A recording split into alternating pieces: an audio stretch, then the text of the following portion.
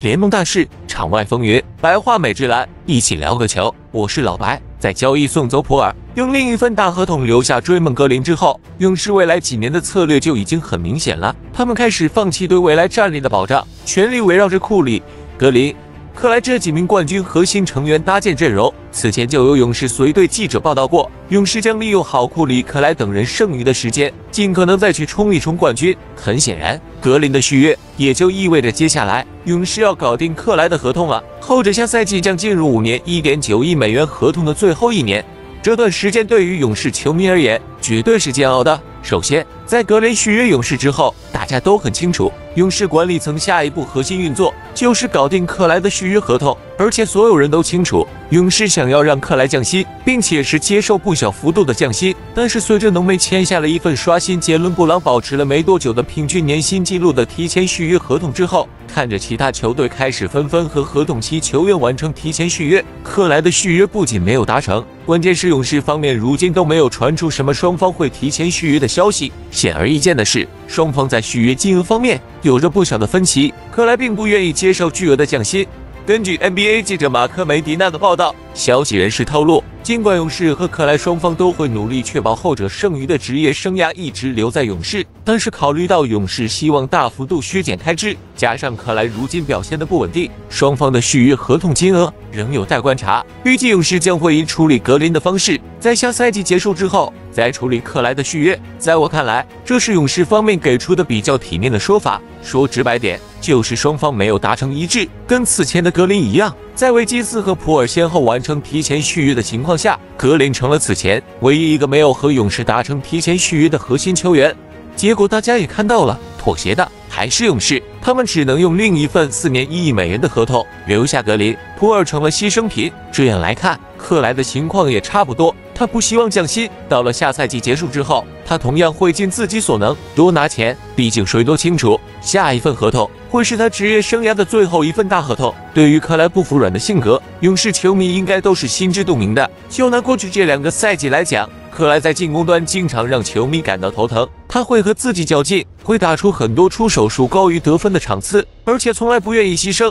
回过头来想想，克莱是一名新秀时期就敢在面对球队老大蒙塔埃利斯的质疑指责时，说出他们花钱就是来让我投篮这种话的球员。可想而知，他的自尊心不输任何人，包括库里和格林。这些年，勇士在实力方面的下滑，球迷们都有目共睹。尽管比起打出七十三胜的赛季，库里、克莱。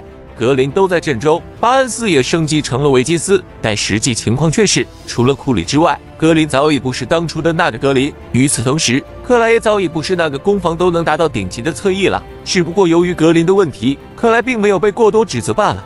五年一点九亿美元，这份合同在当时完全就是一名顶级的球队核心老大档次的合同。在某种程度上，勇士也有奖励克莱的成分在内。克莱的真实价值达不到这样的级别，而如今克莱的防守端，他再也不是那个可以从一号位防到三号位都能打出顶级防守的球员。除了面对一些靠力量的高大后卫，克莱还有一些防守经验之外，面对其他人，克莱的脚步没有任何优势。受伤之后，他影响最大的。就是防守，在进攻端，克莱也变得不够稳定。这次季后赛，他的三分命中率是生涯最差的表现。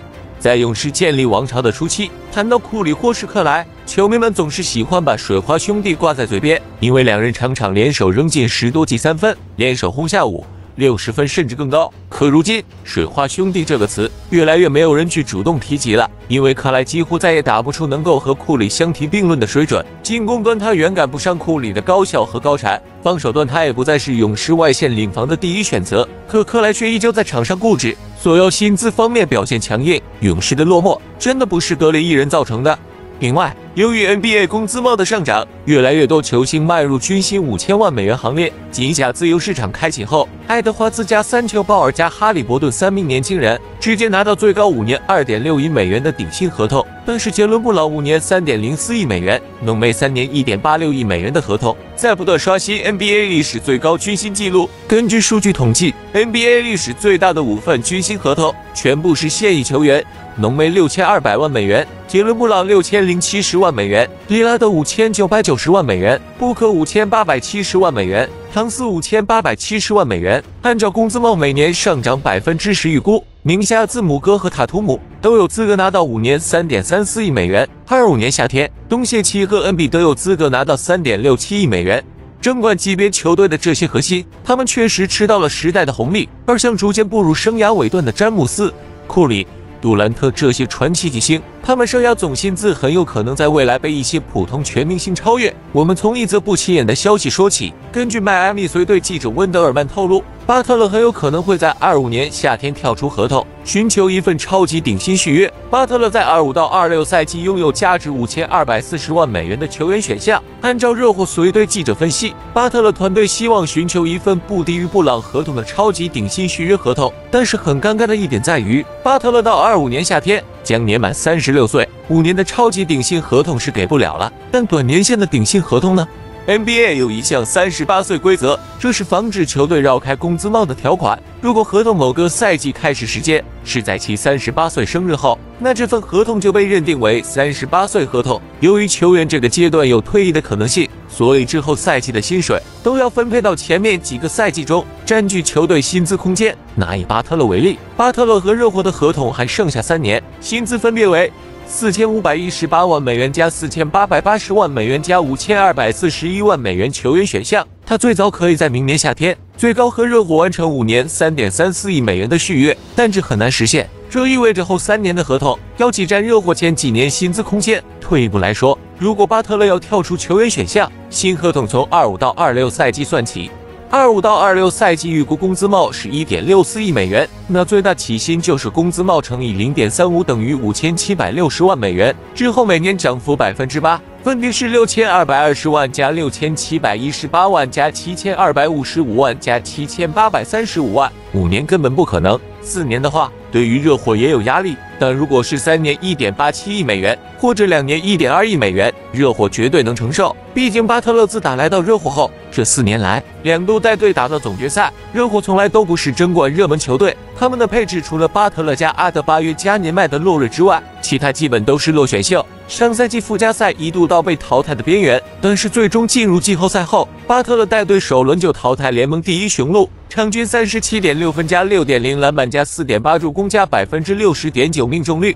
巴特勒常规赛默默无闻，但季后赛他带队的上限已经触及到总冠军级别高度。全联盟拥有这种能力的巨星屈指可数，库里、老詹、伦纳德、字母哥也算一个。巴特勒已经三十四岁了，但出勤率和效率都有保证，这非常难得。杜兰特离开勇士后，可没证明他有提升上限的能力。用温德尔曼的话说，自从巴特勒来到迈阿密，赋予了这支球队新的凝聚力。莱利当初对位的吝啬，但对巴特勒很大方。二一年夏天，三年一点四六亿美元就已经让很多人意外。而此前迈阿密当地媒体在对球队影响力球星进行排名时，巴特勒可不比韦德差多少。相比之下，比巴特勒只大了二十天的哈登，急下去陷入窘境。别说自己像巴特勒那样能拿到超级顶薪了。